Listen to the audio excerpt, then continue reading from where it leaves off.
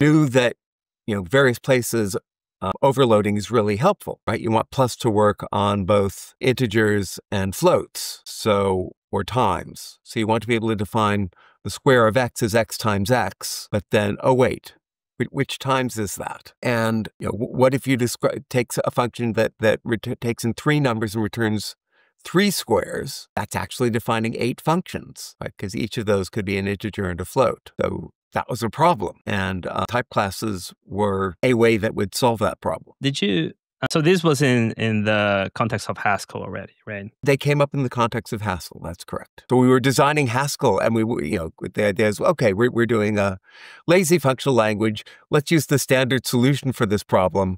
Oh wait, there isn't one.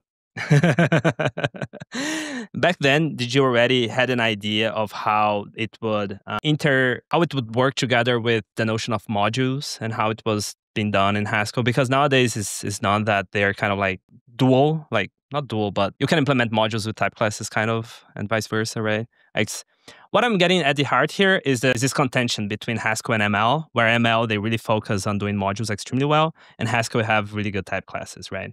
Uh, did you already have an idea of this contention when you were coming up with, with this notion? Uh, no, but uh, Dave MacQueen wrote a very nice paper early on making exactly the contrast that you're making. No, I, I just wanted to cope with overload. And, and the fact that that then lent itself to algebra and lent itself to reading, to uh, to reasoning was just very fortunate.